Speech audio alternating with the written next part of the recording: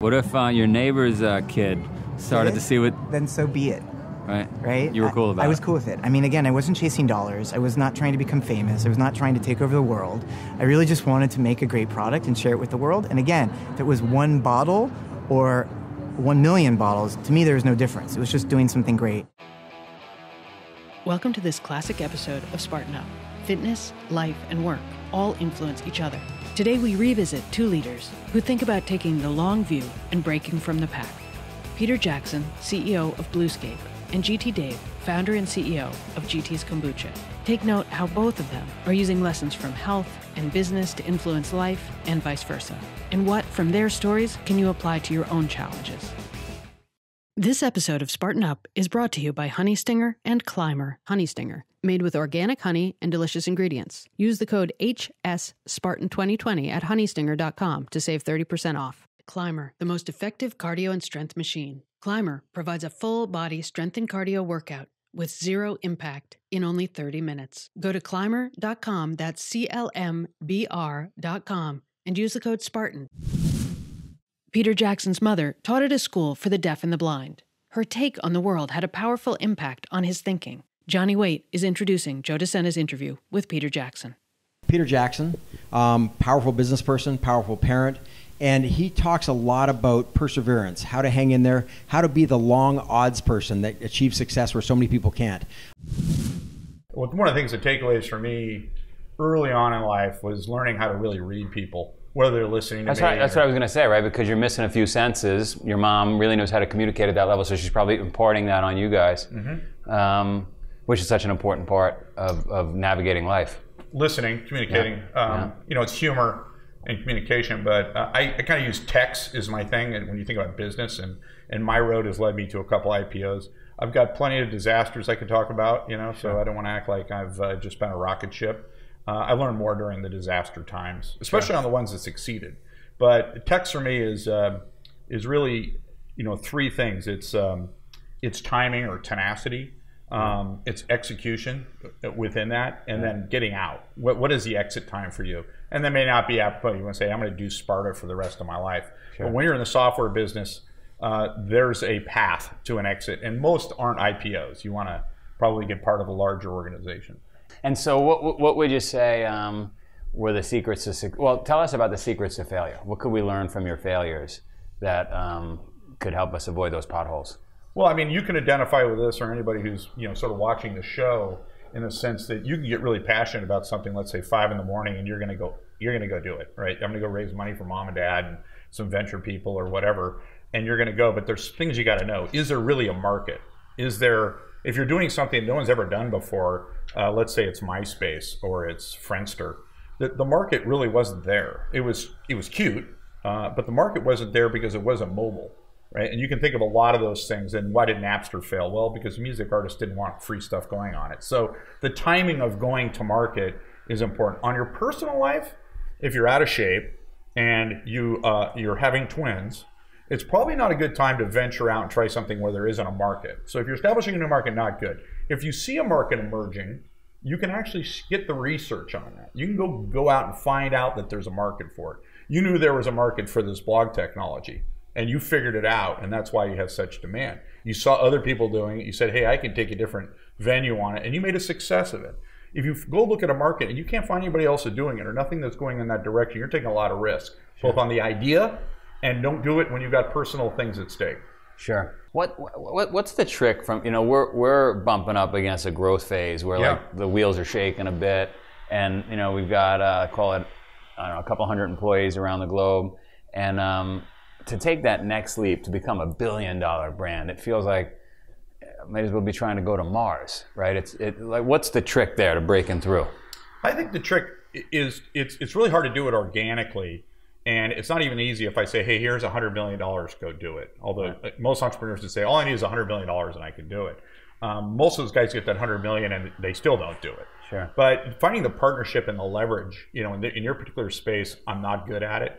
But it would be, "Hey, I got myself on this incredible network, and the network became a strategic investor." Or, or something where you gave up some piece of your equity Right. because they let you scale and go. And it isn't necessarily as much about money, but your production was able to get into larger markets. Got it. So if you're in the drink business, for example, you get in with a distributor. You're saying? Correct. Or, well, uh, you know, that's a really good question because um, in the drink business, which is really changing, people aren't drinking Coke anymore. You know, Yeah. they're looking for organic chia seed, things like Apre, Sure. uh, which is being born out of San Francisco. They get up to a certain point, and then now the Coca Colas and the Pepsis of the world are going, we got to get onto that trick. And so you get to a certain point, you find them to be your distributor, and they become your acquirer. So Sure. that's a, that's a good example of timing, getting yourself to the point where you've got demand. You, women don't want to drink muscle milk; Right. they'd really rather have a prey. Right. And then they start drinking that drink. It changes the way they perform. Then all of a sudden it gets in the main market, and then they sell out. Sure. So you feel like you're failing a lot of, I think, most of the time. You know, until it gets into that uh, that viral space where it's going, and then everybody says you're a genius. When you're down here and you're struggling along, uh, there's there's a lot of headwind at you. Your family, um, uh, your friends are doubting you. Uh, your visa bills getting bigger, um, and so w- when you have those headwinds, is when you have to really second guess where you're at and try not to become weaker. And you need mentors. Uh, you know, when you're going through that, and every one of these startups I've done, uh, I've been fortunate enough to have an incredible uh, mentor network of other CEOs that have, you know, the one I'm in now is seven of the 12 are billionaires. And they've done this uh, and talk about their pain stories. I wanted to just throw out really quickly, like, long odd things, or what guys like you and I do, or the people that are watching are, are thinking.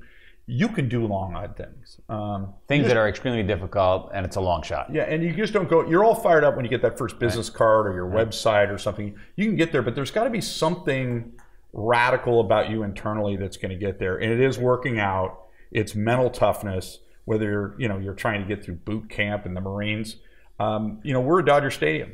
My my oldest son had his first major league hit here. Okay, Yeah. um, that was an amazing thing for me because I told him when he was a little boy, "You're going to be a big leaguer." I mean, that's just kind of a rat to do to a kid. That's a long shot. You know, Right, and so the kid just kept saying, "My dad says I'm going to be a big leaguer," and, and I remember all the family was clustered to see him after the game, and he texted me and said, "Meet me at 4A or whatever." I said, "Well, we're all over here." He goes, "No, I need to talk to him." He goes, "You're off the hook, dude."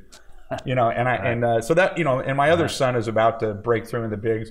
Those are long, odd things you do to your children. It isn't because they were like, I knew they could hit the ball, Right. but when you're going out as an entrepreneur, you have to think like you're making the majors, and your odds are like one percent. And you're going to have to work out harder. Yeah. You're going to have to get up two hours earlier than everybody else, and you're going to have to come home an hour and a half later than everybody else. It, it's hard. You know it. I know it.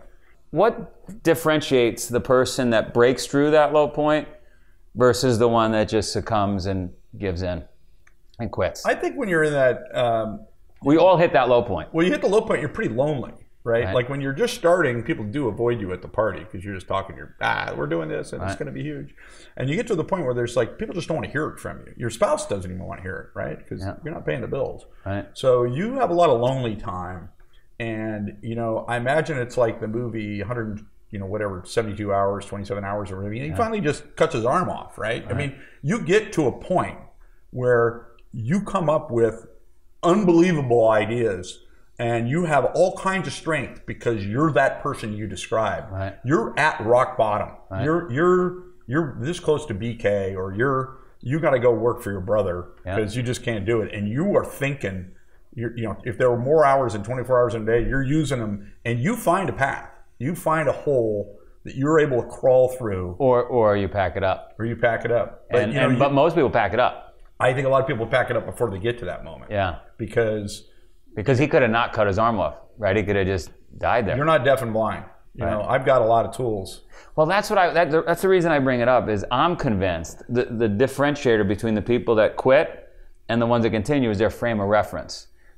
What's frame of reference, right? It's the values, beliefs, experiences you have in your life, the glasses you wear, and and a, an Eastern European or a deaf and blind, per, like they had it pretty tough, and they're like, we can't make payroll. I ate cockroaches. yeah, like like, what? I can't make payroll. No big deal. Like, I- I didn't come from money at all. You know, I didn't come. I came from No, but a- but but your mom fa- your mom uh, teaching the deaf and blind was probably changed your frame of reference during those early years. She had to work. Right. You know, she had to go to school at but night, seeing those kids too, and and like, Seeing them more where you, than you can't complain about anything. and they were smiling. right. They didn't know any better, right? Right. So, Yeah. you know, whatever you come from, it, it, and your success is not that you know you go get a private jet or I get a private jet. it's probably you get more out of how you change other people's lives uh, so that they can experience things outside of work. Yes. You know, that they can Yeah. be outdoors and they can go hike and they can do things like that. And I think that to me ultimately is success. The more money I make doesn't make me the more happy. Sure. The more I change people's lives brings tears to my eyes. Yeah, yeah, because it's not about the money, right? It's just we just want to change life. We want to measure profitability and lives change. That's you know what, and that's what's going to stop people from doing opiates. And Yeah. if, if that's what you're screaming about Yeah. around the world, people taking drugs because they're trying to get out of their pain. They're trying to get something out of their way, and we need to change the way people approach their lives, the way they take chemicals, all that stuff. I just visualize a T-shirt. Do do burpees, not drugs. I love, I love it. Here's what our original Spartan Up team, Joe DeSena, Colonel Nye, Johnny Waite, and Sephra the Seed Huntress, took away from that interview with Peter Jackson. He talked about long odds, right? Yeah. And he, the chance of your child, especially when he's small, five, six, eight, ten, even, that you're noticing that he has potential to make it to the major leagues, is minuscule, right? So he knows that. But go ahead and tell your son you're going to make it. That, that's an either uh, that can cut both ways, right? That can be that you're giving the kid positivity, that you're that you're raising him up, or you're or you're setting expectations in a bar way too high, right? Yeah, I was I was saying that as well when I was listening, and um, it's not to say don't encourage them, don't um, put that expectation out there because I think without that belief, there's zero chance. Like if if you're told you're never going to make it, you're not going to make it. But I think the important piece is that you know there are a lot of parents who tell their kid you're going to make it, you're going to make it, fill them full belief, and maybe the physical just isn't there and they don't get there. So I think it's important to do because it's going to create the possibility of it. But it's also important that that doesn't become the only metric by which they measure their success. You know, his other son, like he says, is uh, is about to break into the majors. He's in the minors. What if he blows out his knee next month? Knock on wood. I don't want to jinx anybody. And your whole life you've spent. You were that guy who didn't get there, right? Right. So, Yeah, how- how so Who and he- cares? But that whole does- journey there but is how going to does be an epic Peyton journey. and Eli Manning's brother. Well, Sure, yeah, yeah, I think yeah. I said this on another podcast, right? But abracadabra means I create as I speak, right? So you might as well. uh, We all create our own stories as we walk on this earth, but and what- it's like what- what walk happens, to the great. So so so you speak and you create what you want to do, and it doesn't happen. What happens then? Great. Well, then you've had an epic journey on the way, thinking that you are going to make it, and the people And you meet, exa- and and where that's you exactly go. was So you're saying. having a party. We're saying the same thing, which is that go out there, set that goal, go after it, but understand that it's not only if you achieve that goal that you're successful. Enjoy the journey. The journey Enjoy who is you the become thing, along right. the way. Yes. Got That's it. all I was saying is if you say to your son, if you don't go to the major leagues, I'm disowning you. That's very different than saying you're someone who could go to the major leagues. You could honestly do it. I believe you're the one in a thousand kid who could do it. Just like you're the one in a thousand kid who could do anything. To your point, in the military, you know, lots of plans. You write plans all the time. You got plans for everything, right? And so when you go into battle, it's a plan. But but the mindset or the phrase is, it's not the plan, it's the planning. Yeah, right? sure. It's it's because the planning is the training. The planning is your mindset, getting you ready and ready and ready. So when something happens to that plan, you're ready to fall back into another planning process. Sure. You know You're not stumped. So, and that's what he said, right? One of the best things that he said was people always, and we've heard this from multiple people, people are always going to call you crazy and you're a lunatic, right? Until your thing becomes viral and then you're touted as a genius. And then all of a sudden, all your hard work, I mean, you know, not everyone always thinks that every idea that maybe any of us have are good ideas, but if you, You were pointing at me when with you it, said that. exactly. You know, any we of don't us use don't. names. You No, know, it's like Richard Branson. You know, he said Yeah, yeah, yeah. there was some girl who was. like, it's all about luck and destiny. He goes, actually, it has nothing to do with luck and destiny. You make your own. You make your own destiny. You you go for it. Sure, 100%. But the way you do it, um, Stephen Leacock, a few people have been credited with this, but I'm a great believer in luck, and I find the harder I work, the more of it I have. Right. So, so Right. yes, Larry you might Bird try. said the same thing. Yeah, you might try 20 things, and it's that one that succeeds. But you're out there trying. Lord 20 knows I have. Which, Huh. which, which is which is hitting the point uh, that, he, that that he brought up, which was long odds, right? Go for the long odds. Go for the long odds. Yeah, yeah. Next up, GT Dave, introduced by Johnny, Sephra, Colonel Nye, and a guest host, Death Race alum Mark Webb. This episode of Spartan Up is brought to you by Honey Stinger and CLMBR. CLMBR is a vertical climbing, full body workout that combines high intensity cardio with resistance training. It's one of the most efficient workouts on the market. With zero impact, the machine is safe for almost any age or level of ability. It's the first vertical climber to feature a large format touch display with on demand instructor led classes.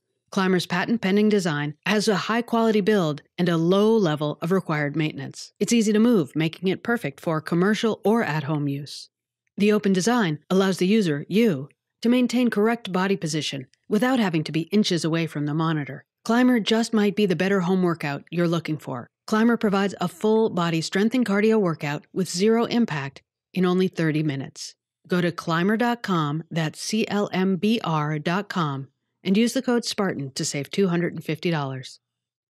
Honey Stinger is made with organic honey and delicious ingredients. Honey Stinger's waffles, energy chews, gels, and bars give you the fuel you need to push harder, go further, do all the things that we do as Spartans. For training and racing, you need convenient nutrition that tastes great and works. Honey Stinger is Spartan's official on course nutrition. It's made with real honey. Honey Stinger started with a simple plan wholesome ingredients, great taste, and, of course, honey. Why does Honey Stinger use honey? Using an ingredient engineered by nature, not in a laboratory, it has its benefits. In fact, the less you mess with Mother Nature, the better. That's why they're committed to the True Source Honey Pledge. And they've got a special code just for our audience. You can save 30% with the code HS Spartan 2020. That's HS Spartan 2020 at honeystinger.com to save 30% off just for our Spartan Up podcast listeners.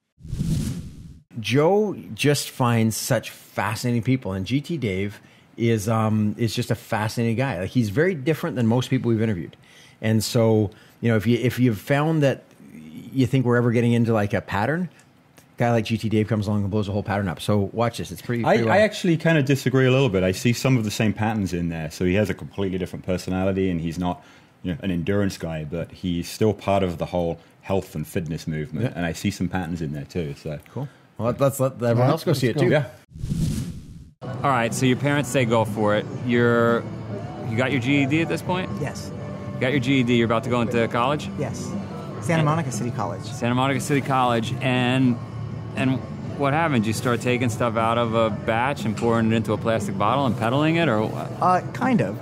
So what happened was that I started to make kombucha because up to that point my father had been making it, and he had been making it slightly differently, where he was fermenting it longer than I think was necessary. So it was almost like pure vinegar, and it was borderline undrinkable.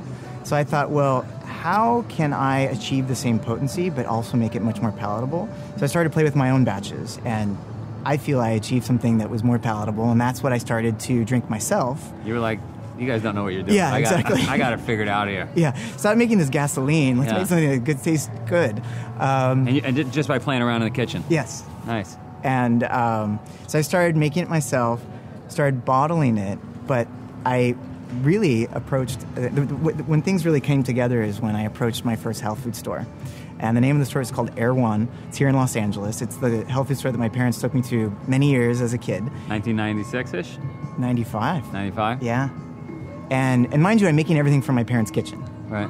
um, and I had designed the label on my computer, and it was really very much my own kind of artistic expression. Sure. Um, so I went to Erewhon, kind of pitched it, and really expecting them to like number crunch with me or negotiate, and they honestly just said, "Sure, when can you start delivering?" How old are you at this point? I was 16. 16. I love Yeah. it. Love it. Yeah. So I actually showed up with my dad, fully dressed in a suit, with like a briefcase that had like a notepad, a pen, and a calculator that I that I never opened up because I walked in, I just showed them the product. They said sure, and then I said okay, and then I left. And that So it was it. that simple. You yeah. left the briefcase behind. Yeah, You didn't need that. Exactly. So, so you start. It starts working. You start selling. Yeah, but I mean, honestly, Do you, do you have a company set up at this point, or, or Uh, yes. So my father, and this is you know something I'm very grateful for. So my father is an attorney, and so he helped form the corporation and do some of that legal stuff to make sure that I didn't get myself into trouble. Sure. So he formed the corporation, and that's what I was doing business under. nice? And and um, and so from there it starts to grow, Yes. and before you know it, you're in the thick of it. Yes. Run into cash flow problems, labor problems. I mean, all the typical business. Well, so for the first two years, I mean, I was literally a one man show. So I was making it, bottling it, delivering it, labeling it, it, everything, right? And I was making it from my parents' kitchen, so I didn't really have an overhead. So I didn't have to experience some of the financial pressures that most startups encounter. So I'm very grateful for that because, again, I was able to just focus on innovating and expressing what I loved. Um, it wasn't until year three where I moved out of my parents' house. Well, the business moved out of the parents' house, and that's when I had um, my first experience with overhead, rent. I started hiring my first employees, and it, it was a shell shock because not only was there the financial dynamics that I wasn't used to, but there was also the um, dynamics of working with others, right? Having somebody else make the kombucha. They Have might somebody not show up one day. Exactly. Or they might just not have the, the right vibe. Because I'm a firm believer that in energy and what you um, get is what you give. And if I just had somebody that came in and really kind of half assed it, the product might be inferior. So I was very conscientious about that. Yeah, I um, I'm listening to the story and it sounds a lot like mine. I mean, I started at a young age in my family's house and then eventually got away from it. And it, it is a shell shock when you have to pay rent and become a big boy, Yeah. right, and deal with that stuff. Absolutely. And so, um, where does it where does it really? Because now it's everywhere, right? I'm in middle of Vermont, and there's GT Dave's kombucha right in the middle of from Millennium Products. Yeah. Ha- when did it explode? Um, I mean, I would say probably the first 10 years was just slow. 96 to 2006. Yeah, Just 95 slow, to 2005. slow grind. slow grind and a lot of it was intentional the slow growth because i treated my company and my product kind of like an overprotective parent right? i didn't want it to grow up too fast i didn't want it to kind of dive into the world and be influenced by all the corruption that i feel sometimes can be out there so for the first 10 years it was just slow baby But what if competition showed up? What if uh, your neighbor's uh, kid started to see what? then so be it Right. right? You were I- cool about I, it. was cool with it. I mean, again, I wasn't chasing dollars. I was not trying to become famous. I was not trying to take over the world. I really just wanted to make a great product and share it with the world. And again, if it was one bottle or one million bottles, to me, there was no difference. It was just doing something great. That's great. And a lot of businesses don't have that philosophy. Would, would you say that at the core, that's the reason you've been so successful? I, I mean, I would say it's one of the reasons why I think we haven't made too many mistakes or missteps. Is it because we haven't um, been exposed to some of that external pressure that comes from investors, competition, just a lot of that external noise that says you need to be this, you need to be that, you need to be here, you need to be there. It just allowed me to focus on the um, kind of artistic journey which I think ultimately resonates with the consumer because I think most consumers really appreciate when something comes from a pure place. Yeah. And uh, yeah, no, I didn't even know you, and I know the product, and it you just feel it. Yeah, The it's like label, the bottle, the drink, everything feels authentic. yeah, Like like whoever's making this cares about it. right. Right. And that's absolutely positively intentional, of course, and sacred. I mean, whenever we do anything, whether that's a new flavor, a label change, a website change, we don't look at like what's trending, what are people, what are other people doing, what should we be doing. It's really about um, how can we communicate in a voice and a tone that will resonate with people, right? Yeah. And not only let them connect with the product, but also kind of um, feel have them feel inspired to think differently, eat differently, drink differently, exercise differently. Um, so it's a we- consciousness. Let's end with um, three business tips. You've, you've now gone 20 years doing this, Yes. right? Um, three business tips for somebody that's just getting off the couch, trying to get their life going. Do it. Okay. Do it authentically, Yeah. obviously, right? Well, no, I would say first of all, dream big. Don't let your dreams ever be suppressed or stifled by what people say you can't do, what people say you shouldn't do, or what you should do. So just dream big and let the sky be the limit. Um, the other thing is surround yourself with smart people, people who are like-minded, kindred spirits, and people who are smarter than you, because it's important to know what you don't know. Sure. And the third thing is to find fulfillment in the little things, the journey, the creation, the kind of artistic endeavor. It can't be the finances, it can't be the bottom line, it can't be the fame, it can't be the reputation of, you know, being the best or being number 1 because that will always skew your perspective and the decisions that you make. And in many ways it could sabotage what you do. So um, we've interviewed Richard Branson, we've interviewed the guy that shot Bin Laden, the CEO of Kodak, and those guys all went to college. Did you finish college? Because you're a pretty smart guy. Thank you. Um, I didn't finish college. Actually, when I started. Where did you get all this knowledge from the kombucha?